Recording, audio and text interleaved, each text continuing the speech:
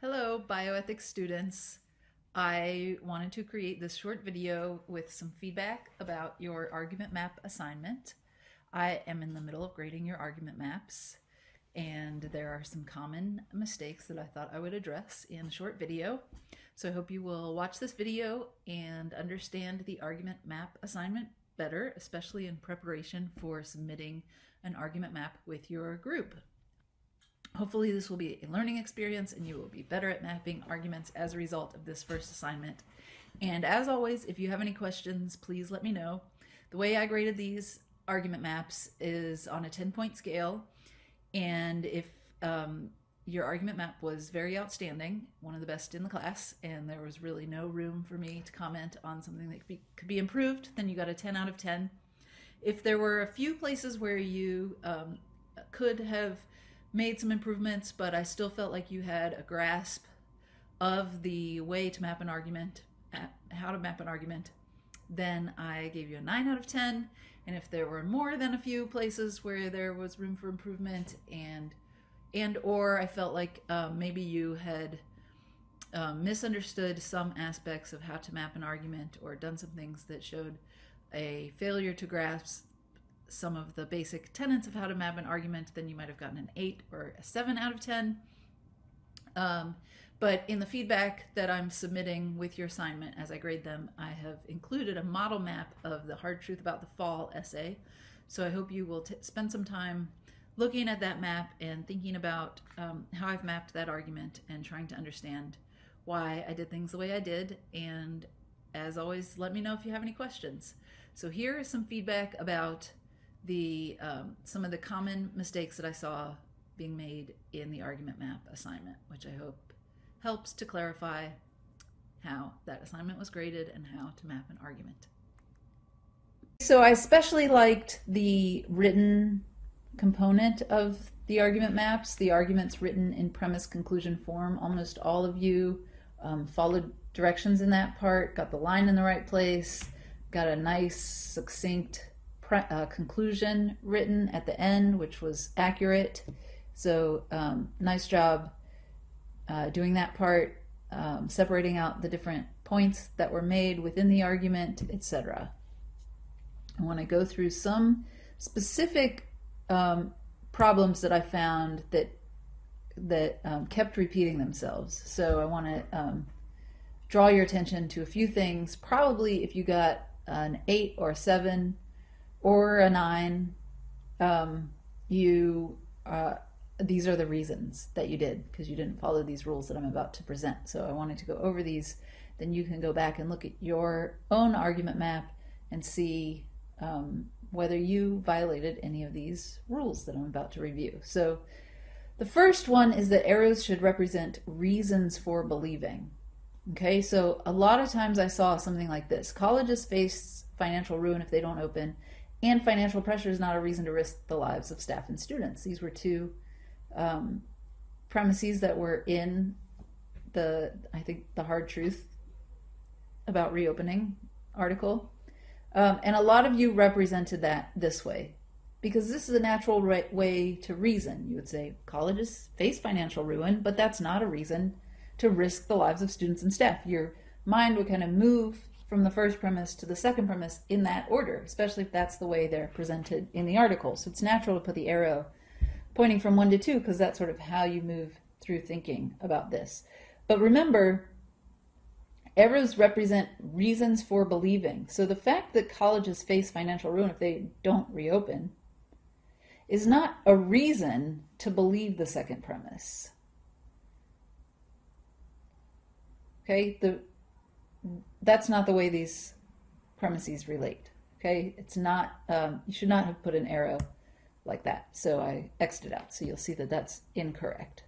Um, and there were a number of other places where a similar kind of um, issue like this came up where you put the arrow between the premises because you would naturally move from one premise to the next with the flow of the argument, but it's not actually presenting a reason in support of that of the premise that it's pointing to. So, um, so that was one issue that came up repeatedly.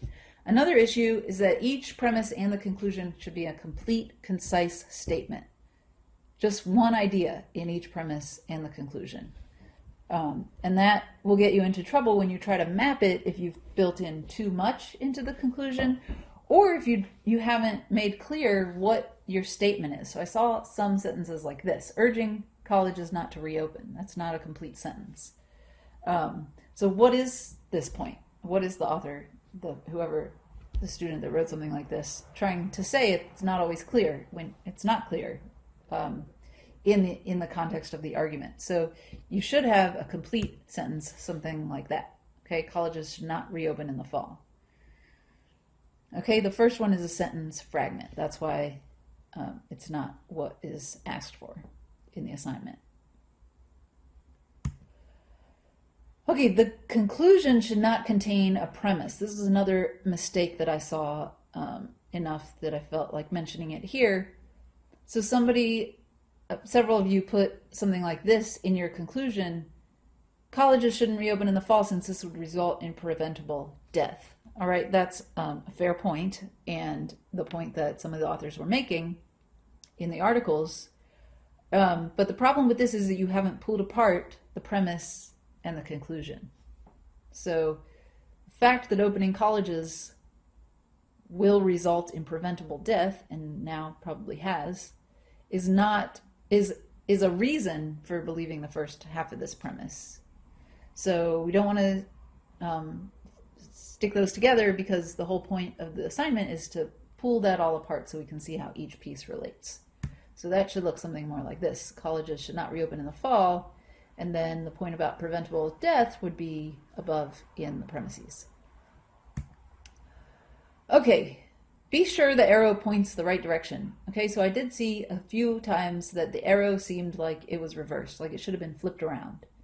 Okay, so here's two options for these two premises. Colleges are ideal environments for spreading the disease, and social distancing is not possible in a college environment. Which way do you think is the correct way to represent these two premises? I'll give you a minute to think about it, or a moment. Because now I'm going to move on and say, so you should pause it if you don't want to hear the answer.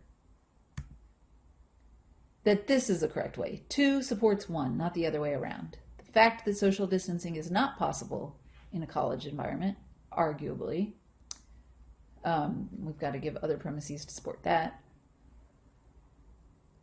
is the reason, part of the reason that colleges are ideal environments for spreading the disease. Now, there could be other reasons offered in support of that, like um, like colleges require close contact, and um, college students are eager to um, spend time together, and etc.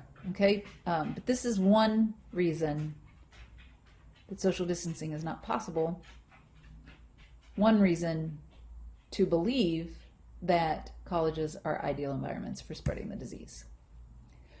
Okay, you got to make sure you use the plus sign correctly. Okay, so I saw a number of arguments like this, which here the two is just idle. It doesn't even matter because it's not being involved in supporting number three the way it's represented. So um, in this case, if you're saying one supports three, why is it even connected to the two? Um, so that's not the way you should represent things. Here's another um, error that I saw. So you put the plus sign where really you should have had two separate arrows pointing. So here we have two reasons that campuses shouldn't reopen in the fall.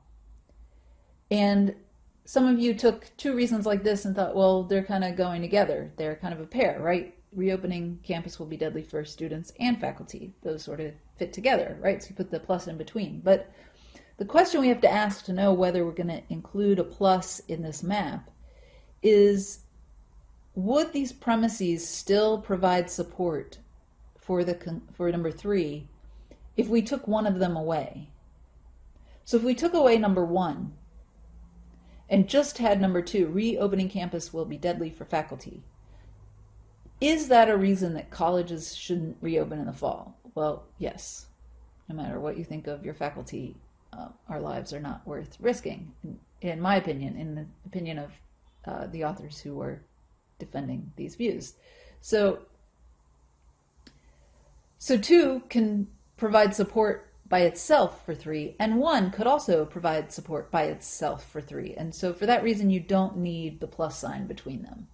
So in this case, you should have had two separate arrows pointing from one to three and another arrow pointing from two to three. Excuse me. One arrow from one to three and one arrow from two to three. Okay, that's why this is incorrect. Okay. Um, here's a case where the plus is used correctly. Okay, so here we have campuses shouldn't reopen until there's a vaccine, and there won't be a vaccine by the fall. That's why campuses shouldn't reopen in the fall. Okay, now you'll notice one by itself would not support three. Camps shouldn't reopen until there's a vaccine. Well, you might think there will be a vaccine by now. You might have thought that when the article was written. Um, and the fact that there won't be a vaccine by the fall wouldn't by itself support three unless you're also claiming that campuses shouldn't reopen until there's a vaccine. Okay, so here this one is written correctly. Okay, another point is to follow the rules. So I found all sorts of creative maps that did not follow the rules that were given and still looked very pretty and nice. So an example is this. There was stuff like this. There were lots of boxes and circles and other things that were not um, presented to you in the in the model. So um, the reason you have to follow the rules for this assignment is that this is a formal system that you're learning about, and the arrows and the way the numbers are written and the plus signs they all have distinct meanings, and so um, we have to use those particular meanings that are set in stone, not really in stone, but they are specified at the outset in order to be clear and consistent about how we're representing the arguments. Um, so while this is incorrect, um, a place where you could use this skill of sort of presenting things in a cool, different way is in your videos. Um, so with the videos, you should feel free to go nuts with creativity, right? Like put things how you think how you think would be cool to view them um, but not in this argument mapping assignment. Here it's a follow the rules exercise.